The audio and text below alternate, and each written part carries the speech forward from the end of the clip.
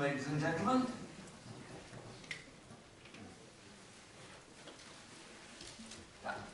I'm Richard Self. I'm a Senior Lecturer in Governance at the moment in relating to uh, emerging and advanced technologies. Because I get bored looking at, looking at the same thing time after time after time, year after year, so I move my interests and my job title every couple of years so I can keep it refreshed uh, for my students so they can learn about interesting things. And governance is all about doing the right sort of things in the right sort of ways. It's a procedural side in a sense that you guys from the software engineering, software testing environment are really passionate about making sure that our software actually does what it's supposed to do. And I try and give, teach the students all of the sort of questions that will set them up to learn for life. Because if I teach them answers, they stop learning. So, I'm going to be posing some questions this afternoon about this topic, about why is our software so fragile? And by our software, I don't just mean the apps, but I mean the entire stack, so that at the end user, the application seems fragile. Now, I've been involved in this world for 47 years now, roughly. From when I left school and went to Rolls-Royce Aerospace as uh, an undergraduate, apprentice, well, undergraduate apprentice to start with, and then went back as systems analyst in 1973. I've lived through almost the entire commercial IT world. Leo, the Lyons Tea Shop computer system was built the year after I think I was born. So I've seen all the commercial software. And one of the things that I have noticed is that over the years, our software, our systems, are getting more and more fractured, broken, and fragile. And I've tested this out at various conferences I've been to over the last 10 years. Big commercial conference, industrial conferences where there were 10, 15,000 delegates. And I posed the proposition, that proposition to many of the attendees. Those with 10, 20, 30 years of experience all agree with the proposition that our applications at the end user level ne has never been so fragile as it is today. I want to pose some questions about why this might be. These are some of the contact details that you can get me on. I'll be giving Katie a copy of this uh, presentation tomorrow, and she'll be present, uh, putting it up on the um, website for the conference. And I'll be, I'm actually recording it at the moment in video, and that will go up on my YouTube channel, and Katie will have the link to that probably tomorrow when it's uh, loaded. I want to look at what I've seen in my own, you might say, professional life from 1970 onwards. And it seems to me that some of the critical issues that we're seeing today are in that next little list for the key issues. Now, I've talked about requirements um, specifications as being one of the critical areas we have, seem to fail at and have failed at for 40 years to my certain knowledge. I'll talk a little bit about that in a minute. And we don't seem, as a profession, to be able to actually test those specifications adequately. We only find out that the spec specifications don't deliver what the customer really needed or wanted until they come to do user testing or they're actually using it in real life. The test teams. I don't mean the professional test engineers like yourself, I mean the totality of the team, the end user team, may not be completely representative. There's a lovely story about a um, supermarket chain that were developing a new POS system and they specified it, and they tested it, and they got right around to implementation. And only then that they discovered that one or two critical transactions for the actual girls and boys on the, on this till, that transaction seemed to be missing because the team who were specifying it didn't have the right expertise. The people who were testing, the end user testing, didn't have the right the shop floor, as you might say. They got it wrong. We don't know how to do that job. We also have a big problem with complexity.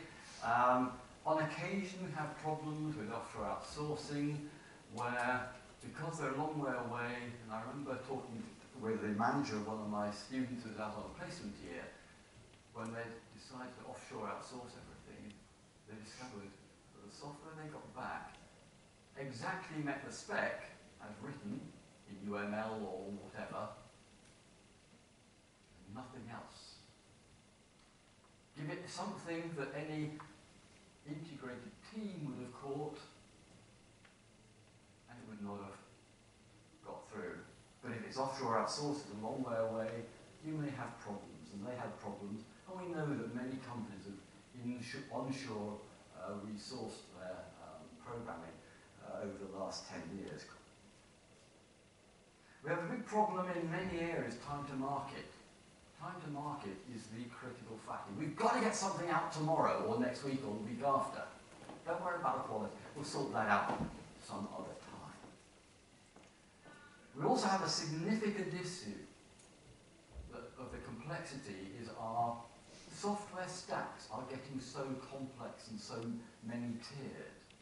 Go back to the nice old days of IBM mainframes or Amdahl mainframes or NCR mainframes. Everything. everything. The hardware, the operating system, the database manager, you name it. Everything came from IBM. There's only one person to point at. And I don't remember if, know if any of you remember the advert on TV a few years ago where something failed overnight. And the CIO had called in the representatives of every single person involved, or every single company involved in their software stack. There's about 10 people around the table. How do we solve this problem? Well, it's not my problem, it's his. No, it's hers. It's hers. It's hers. All the way around. It was an advert by IBM saying, you come to us, we'll give you the, har the hardware, or we provide the hardware, the operating system, database managers, all of those things. Go to someone else with one of these lovely modern server-based systems and you've got 10 different organizations supplying that software stack. You've also got some of the interesting issues around agile DevOps, which from a user point of view may not actually, on some aspects, big DevOps if you're pumping out the updates really rather regularly. Don't mind the DevOps as you build the next release. That's probably very wise, very helpful. But sometimes we see too many changes coming through too frequently. How many of you have seen these numbers from the Standish Group over the last 20 odd years? They have been running a survey, the Chaos Report survey, every year roughly since 1994. And they have categorised through surveys with chief information officers around the world project success on time, to budget, and originally up until 2013, delivering the signed for functionality. Failures, well that's the obvious sort that never get into service, and challenge are the ones which kind of struggle into operation.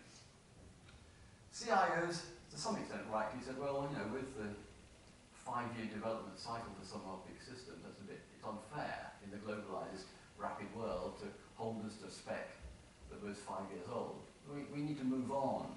We would prefer to be measured against projects that deliver business value. So Standish Group said, okay, right, we'll do that. We'll backtrack a couple of years, recategorize with your help. And what was interesting is that the number of projects which had been considered as successful, which is the blue line starting at 16 and kind of wanders up there, 39% were successful in that year, 20, in, uh, 2013, 2012 somewhere. When you looked at it as delivering value on time and on, and to budget, you dropped dramatically down to 7% success rate. We have learned very little in 30 years roughly about delivering success delivers value to the organisation. We have improved over after the first, well, for the first two or three years, failures are now running at something like, what, 19%. That's why nothing ever gets implemented. Do you realise how expensive that is to the world? That we are so bad at delivering software products. I don't mind, it doesn't really matter whether you talk about old style type of systems or modern predictive analytics AI type systems. They're all running at this kind of trivial 30% success rate delivering value on time to budget.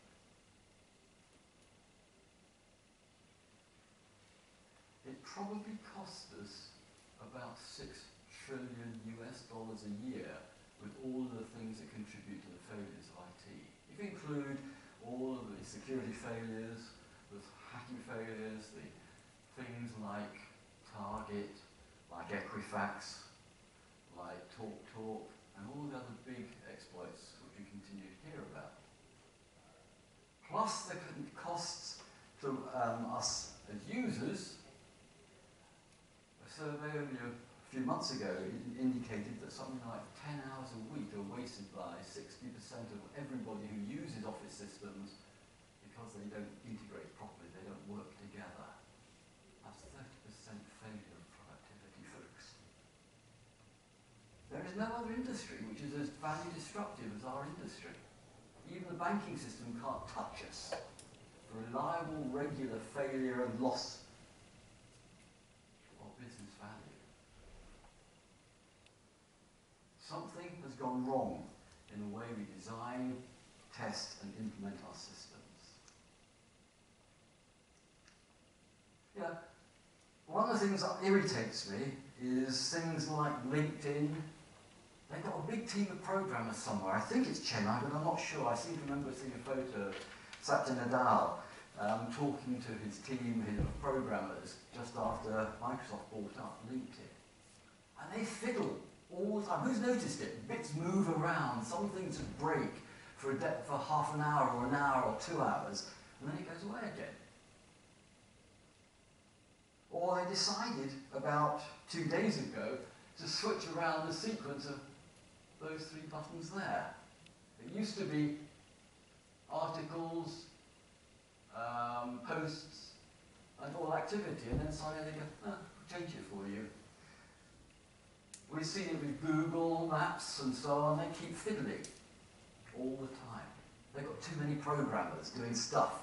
You've got lots of programmers, they've got to do stuff to justify their existence. And they fiddle, break it, make our lives difficult. Do you guys get involved in checking that that doesn't happen? Tries to keep some sensibility. That things are going to work properly consistently. Or a couple of days ago, I was using our virtual learning environment, Blackboard. Normally, it looks like that, with all, all of the links to the little modules I teach are always in blue.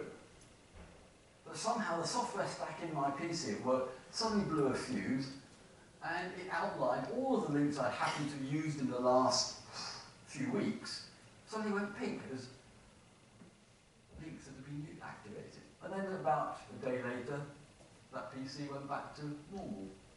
Why? Complexity, I suspect. One of our problems is about requirement specification.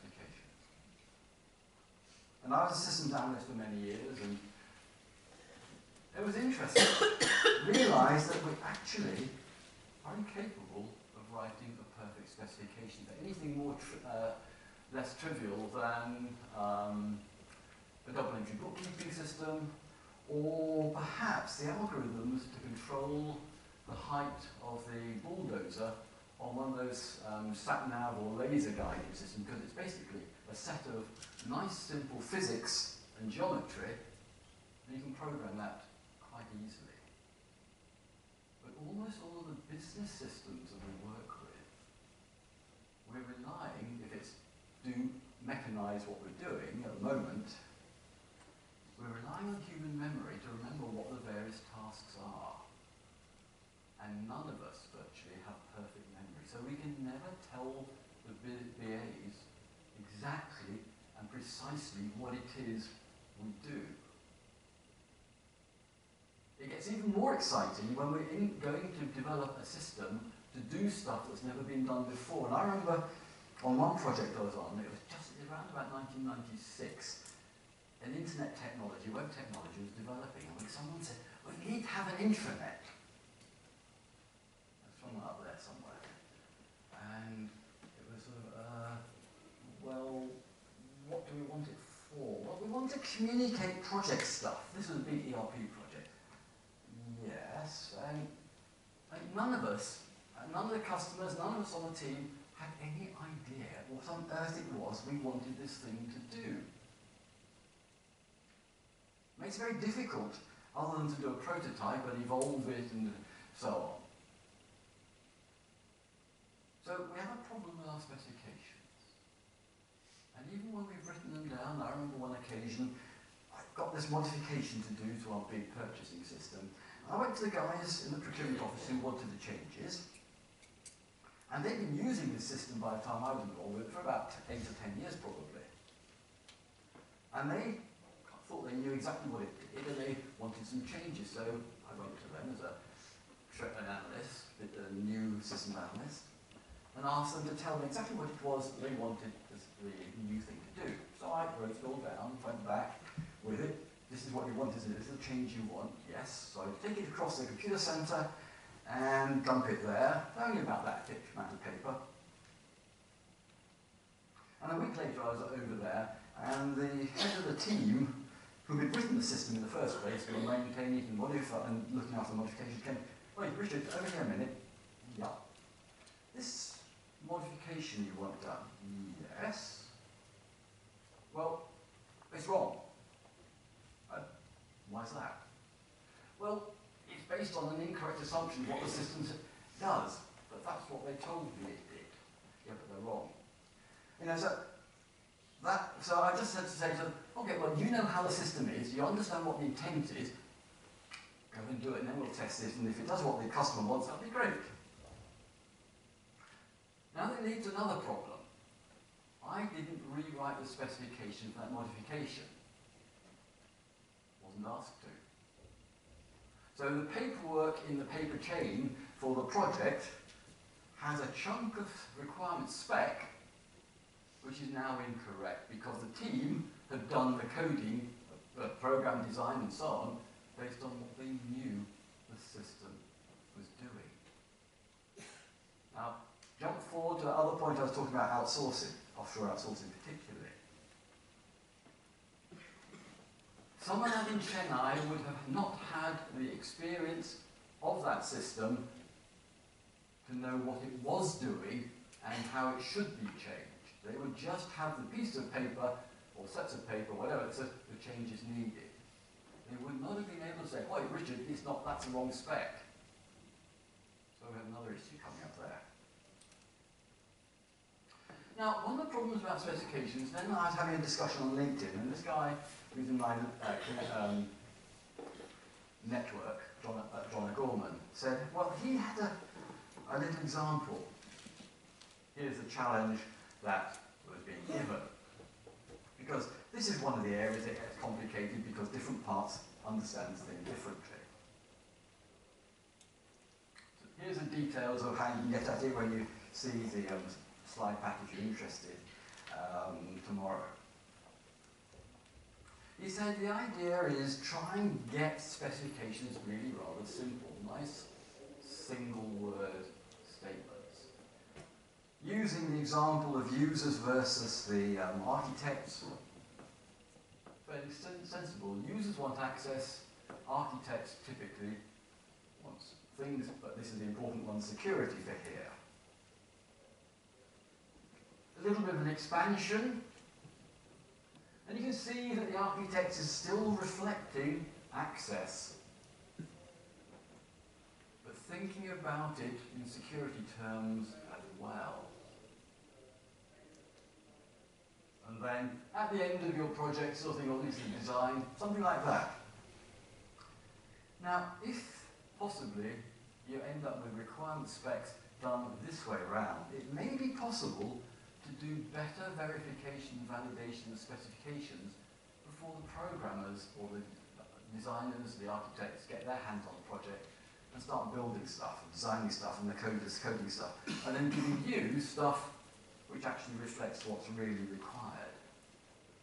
Is there a way that you can use your expertise to do a better job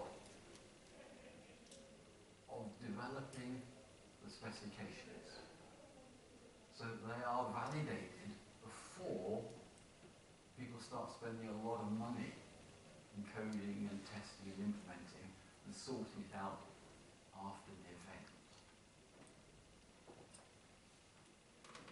Now, a few more aspects. Think about complexity.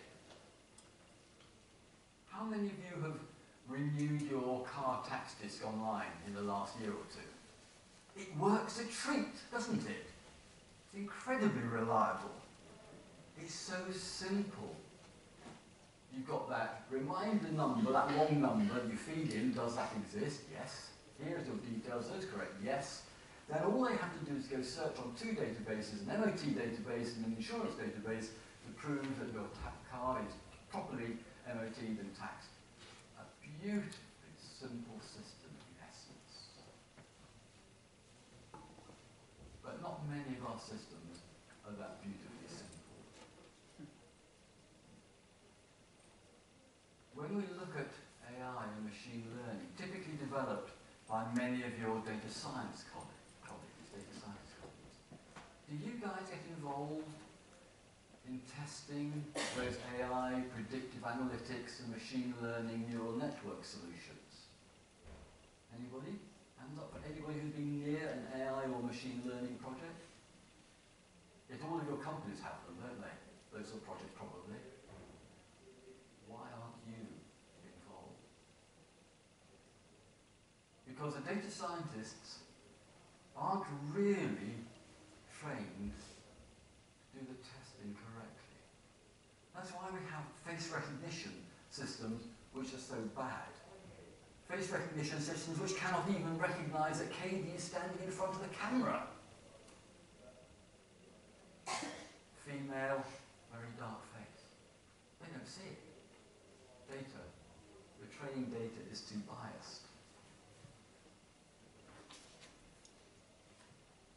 your companies are working in the field of AI and machine learning, you guys got to get in there. Because the data scientists will not do the job properly. But you will have to change the way that you look at the work because you are used to having speci algorithmic specifications. AI machine learning doesn't do that. It looks for patterns. And as some of my colleagues are saying, and the discussions on LinkedIn with various machine learning AI experts, these systems are designed to find patterns and give them lots and lots and lots of data. They will find lots and lots of beautiful correlations, most of which are spurious. So you will need to change your approach to testing as soon as you start getting involved in these types of correlation, machine learning, and AI systems.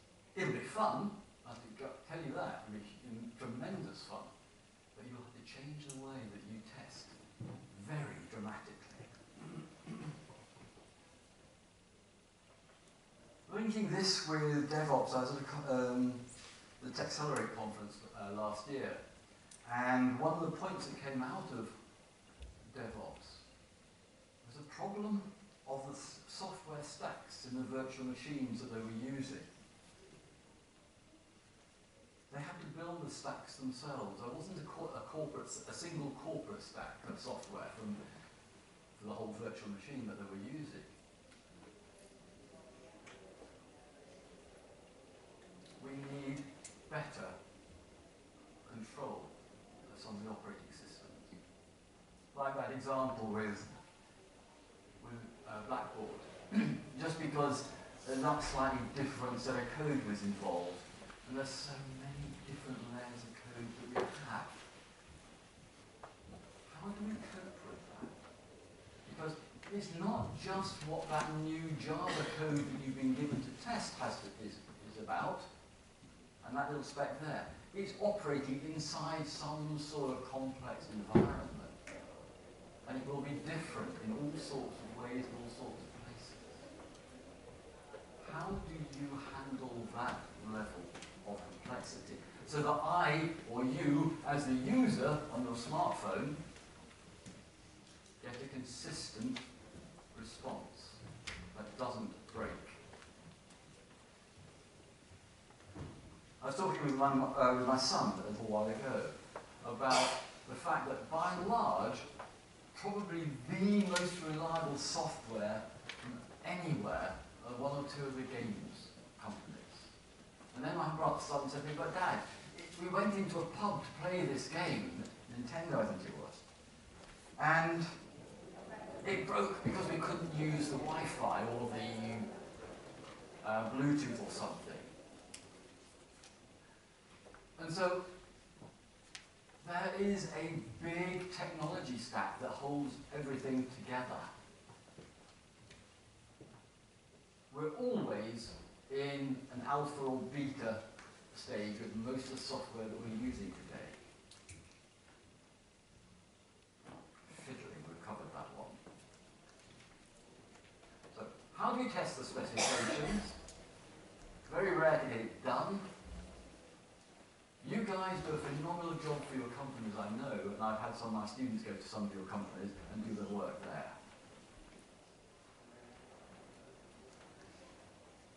But we're still there with fragility, complexity, and the challenge is how to sort that out. Thank you very much, folks.